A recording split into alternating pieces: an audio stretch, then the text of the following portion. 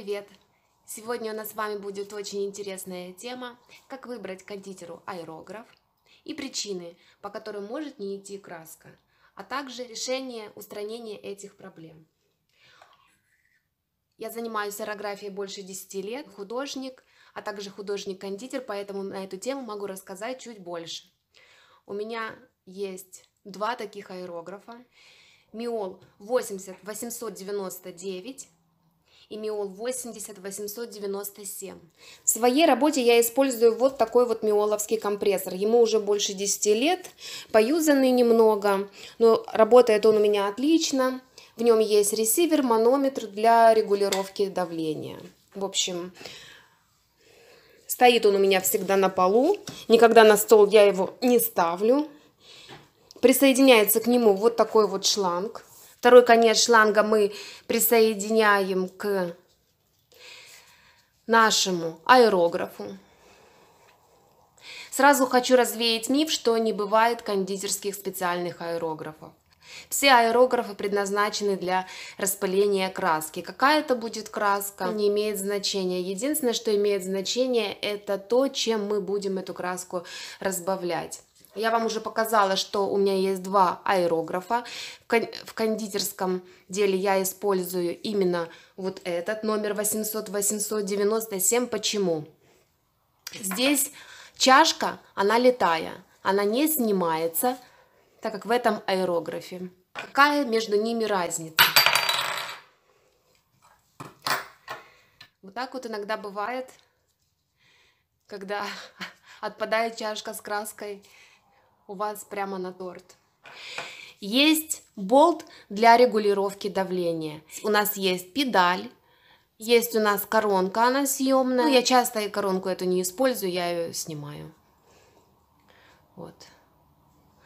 Есть также крышка на верхний бачок. Лучше, конечно, крышку закрыть, чтобы краска не выплеснулась на ваш торт, на вашу работу. Как мы разбираем наш аэрограф? Отсоединяем сначала шланг. Аэрограф у нас разбирается.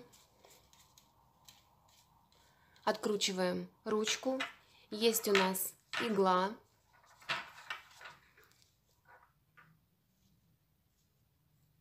Иглу аккуратно достаем. Смотрим внимательно, чтобы кончик нашей иглы не погнулся. Если он погнется, вам нужно покупать новый ремкомплект. Ну или в конце видео вам расскажу, как можно будет отремонтировать немного, продлить жизнь этой иглы. Самое важное, девчонки, когда вы разбираете аэрограф, придерживайте вот эту педальку, чтобы она не выпала. Если вы не умеете собрать аэрограф обратно, как автомат Калашникова, то уйдет на это очень много часов. А теперь хотелось бы с вами поговорить о том, какие я использую красители, в своей работе. Я специализируюсь в основном на аэрографии по мастичным тортам, и поэтому хочу сказать сразу. Мы используем для растворения наших красителей только водку. Почему водка? Потому что водка быстрее испаряется, чем вода. А как мы знаем, под водой наша мастика тает. Если мы делаем длительную работу аэрографом, может случиться такое, что капли воды растворят вашу мастику на торте. Нам это не надо, поэтому мы используем для растворения только водку. Всегда у меня в работе есть стакан с горячей водой. Стакан с горячей водой для того, чтобы промывать аэрограф. Есть у меня также пустой стаканчик, расскажу для чего. Пользуюсь я или гелевыми красителями, но если у меня есть сухие, лучше использовать сухие. Почему я против гелевых? Потому что гелевые при растворении имеют очень вязкую консистенцию. Если вы неправильно растворите, краска ваша будет густая, аэрограф не будет распылять эту краску. Также я люблю пользоваться вот такими простыми сухими красителями. Насыпаем мы краситель, сколько нам необходимо в стакан. Наливаем водки. В этом красителе содержится сахар. Поэтому мы или ждем, когда сахар растворится. Но если у нас нет времени для того, чтобы дождаться этого момента, мы наливаем краску, а сахар, если он остается на дне в стаканчике, мы его в аэрограф не высыпаем, только наливаем краситель. Самый мой любимый розовый, вишня. Включаем наш компрессор, начинаем распылять краску.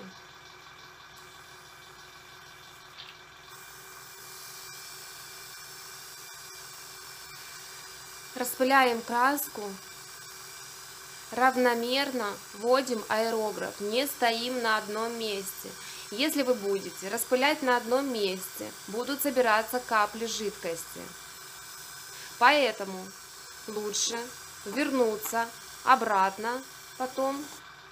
Если остался в чашке краситель, я выливаю его обратно в стакан с красителем. Так мы промываем наш аэрограф. Беру стакан с горячей водой. Сначала промываю в чашке и выливаю в пустой стакан. Снова набираю горячей воды и распыляю до тех пор, пока не пойдет чистая вода. Если вы видите, что вода чистая, значит ваш аэрограф уже промыт. А теперь я расскажу вам, что делать, если вдруг вы включаете аэрограф в надежде, что вы сейчас быстренько задуете ваш торт ляжете спать, у вас не идет и сопла воздух. И вы понимаете, что вам тут еще дел на полночи. Мы берем и наливаем стакан кипяток. Включаем компрессор. Окунаем сопла в этот стакан, в миску. Нажимаем педаль и держим до тех пор, пока не пойдет воздух. Если пошел воздух, а распыла до сих пор нет, значит у вас залипло в чашке. Вы наливаете кипяток в чашку. Если у вас остался краситель, даже налив чистую воду, она у вас подкрасится. Еще один вариант. Если все вот эти процедуры вам не помогли, что вы делаете? Вы откручиваете носик. Может случиться так, что краска засохла в носике. У меня на этот случай всегда есть игла, обычная иголка тонкая, которая проходит. И вы прочищаете, вы прочищаете носик. Вот здесь есть дырочка. Вы кончик иглы засовываете вот в эту дырочку. Прочищаете эту краску вода водка не растворяет, то тоже не будет подачи краски.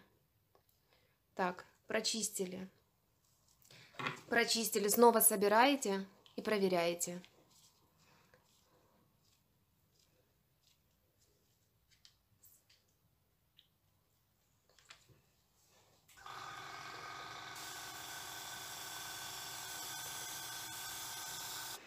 Еще одно.